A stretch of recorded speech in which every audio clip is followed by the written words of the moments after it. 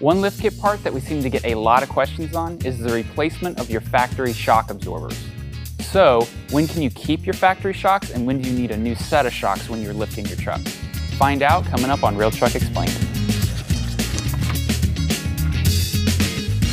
Body lift kits alter the vehicle ride height by increasing the distance between the frame and the body.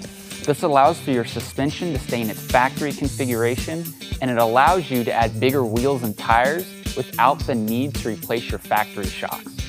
Leveling kits only raise the front end of your truck, eliminating the factory rake and leveling out your truck's appearance. The back of your truck keeps its factory ride height, which allows you to retain your factory suspension a majority of the time.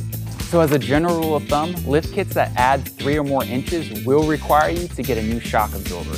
To simplify the shopping experience and to eliminate any confusion, the majority of brands that you'll find on realtruck.com will only include shock absorbers when you need them.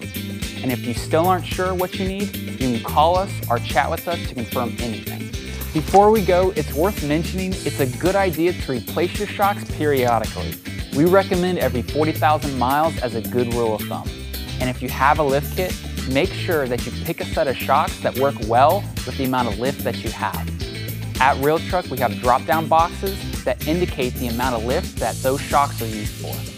Well, that about wraps it up. If you found this video helpful, go ahead and give us a like. And if you have any other questions about shock absorbers, truck accessories, or lift kits, go ahead and give us a call or visit us online. Thanks.